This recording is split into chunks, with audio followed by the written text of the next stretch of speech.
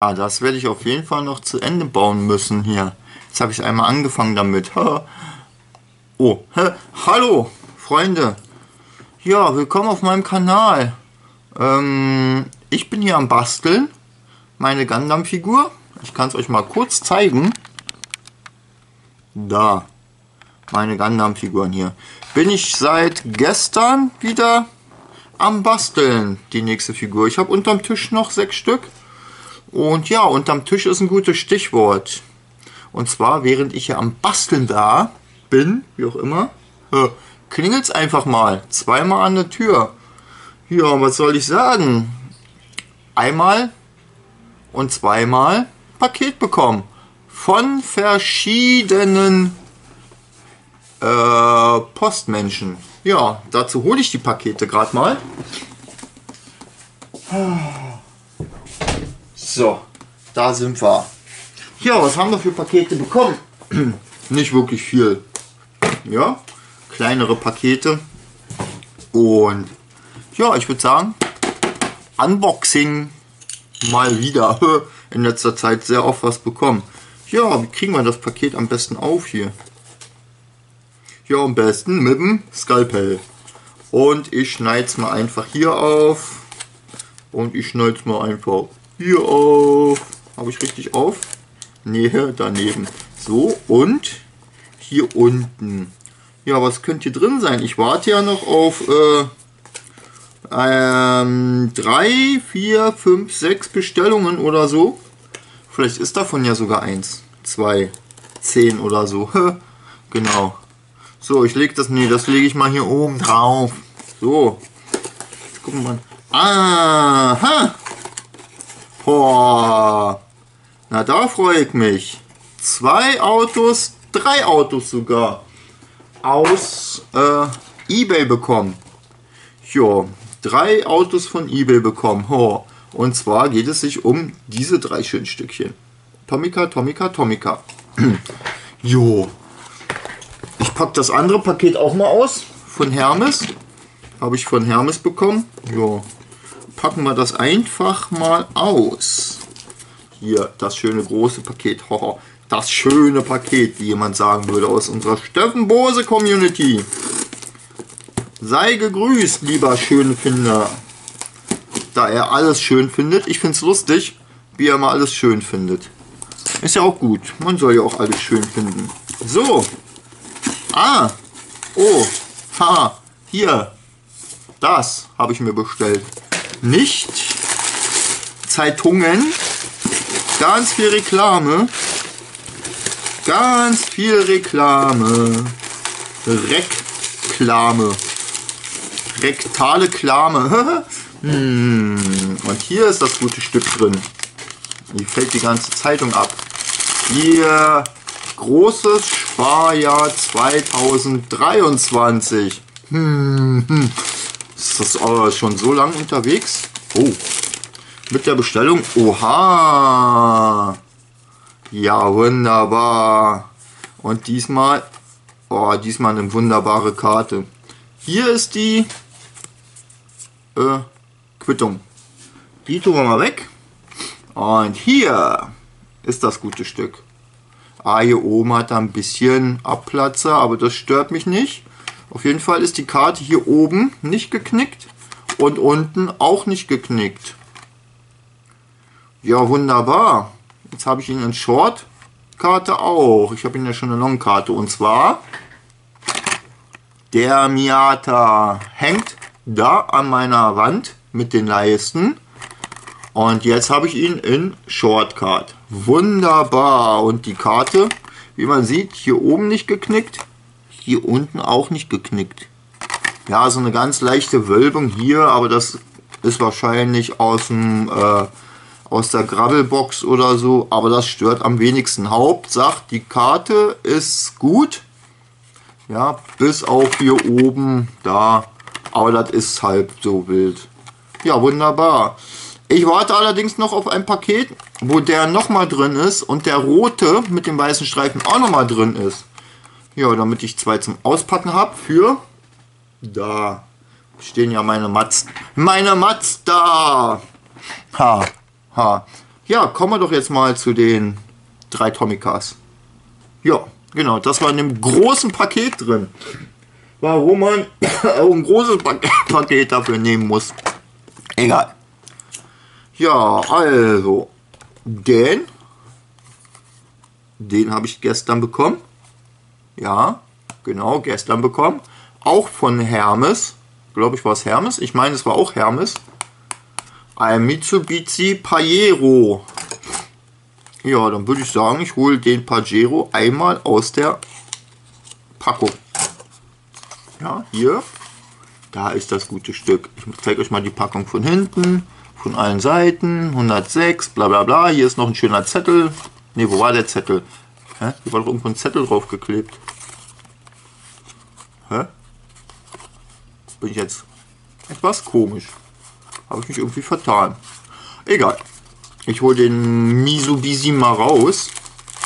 Ja, natürlich ein geiles Auto. Ich habe ihn mir gestern schon angeguckt. Deshalb ist er auch schon auf und die anderen drei beiden sind noch äh, verpackt. Da ist das gute Stück. Oh, guck mal Leute, ist der nicht schick? Mit japanischen Schriftzug. Ja, vorne hätte man natürlich auch Lampen andeuten können und hinten, ganz klar. Und ja, wie ihr seht, Türen lassen sich öffnen. Auch auf der Beifahrerseite.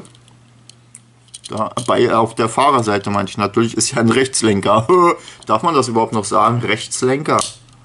Ja, natürlich hat er, wie man sieht, am Kotflügel da und unter der Tür kleinen Lackabplatze. Aber das ist nicht so schlimm, denn er wird in der Vitrine stehen und wahrscheinlich werde ich mit schwarzen Edding mal oder schwarzer Farbe mal ganz leicht drauf tupfen.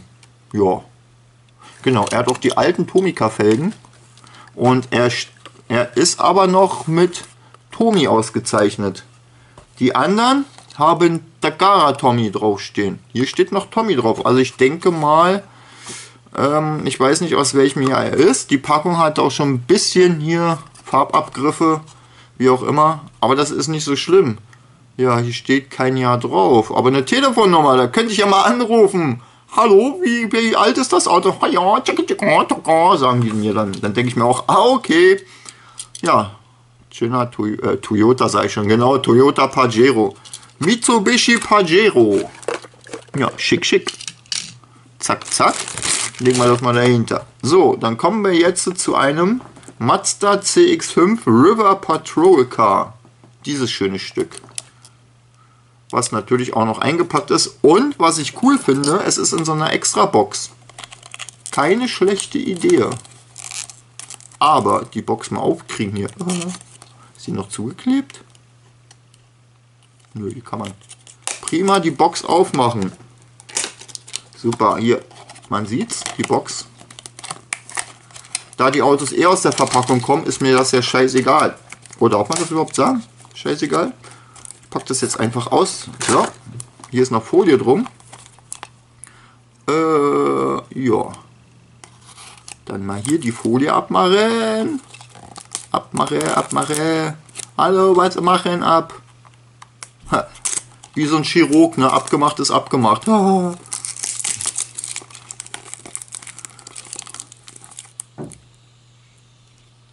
Oh, das hört sich sehr nach Keilriemen an da draußen. Keilriemen kaputt. So, machen wir das. Ach, das lege ich erstmal dahin. So, der Wagen ist ausgepackt aus der Folie. Jetzt werde ich den Wagen mal aus dem ähm, Dingens rausholen. Aus der Verpackung. Ich hatte dieses Auto schon mal gehabt. Damals alle Tomicas verkauft. Leider.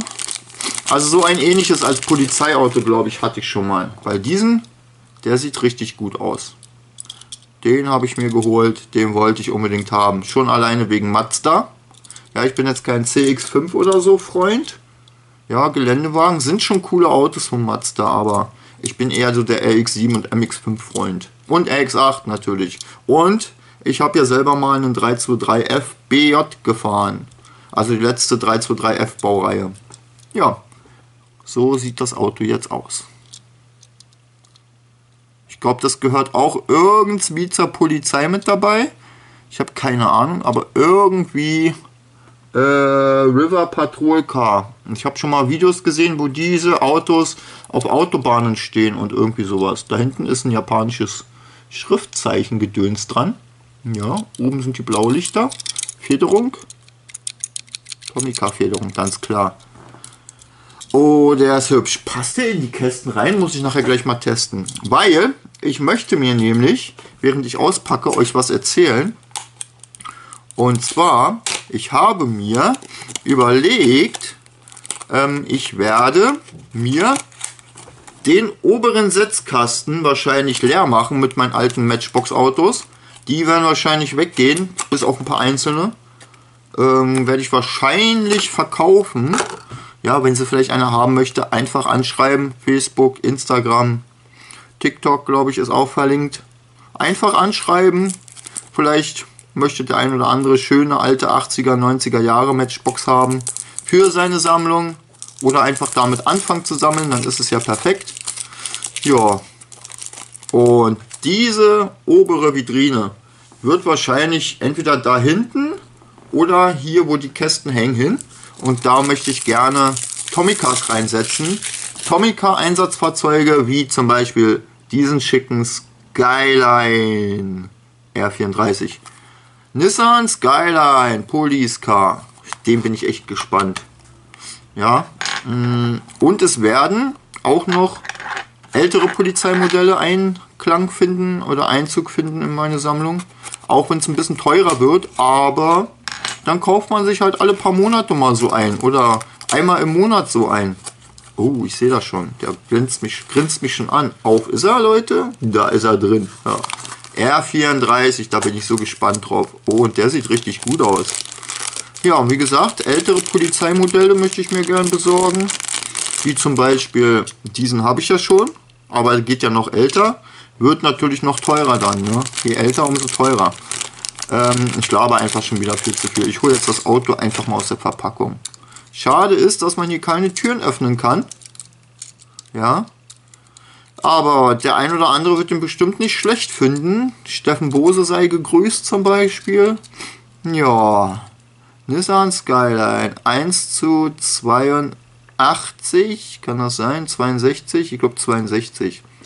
Da ist das schöne Auto. Ist der nicht schick? Auch vorne mit dieser, was auch immer das ist. Wofür das ist, ich weiß es nicht. Vielleicht weiß einer von euch, wie dieses Plastikschild hier heißt.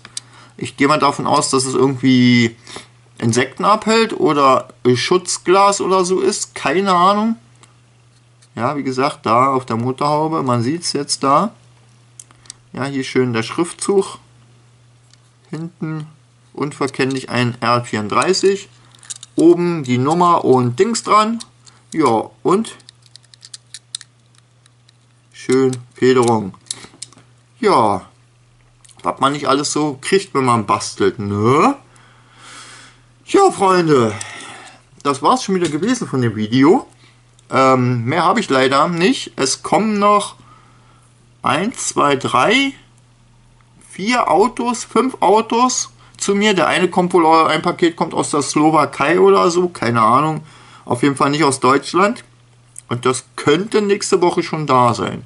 Und wenn ich Glück habe, habe ich vielleicht Samstag auch nochmal ein Paket, was ankommen könnte. Oder nächste Woche.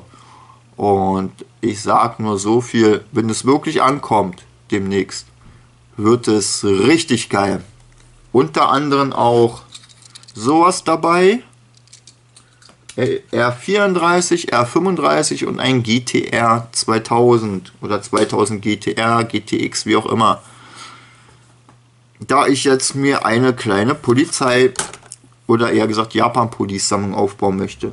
Naja, ich rede einfach schon wieder zu viel. Gut, danke, dass ihr zugeguckt habt und bis zum nächsten Mal. Ich sag nur eins. Tschüss.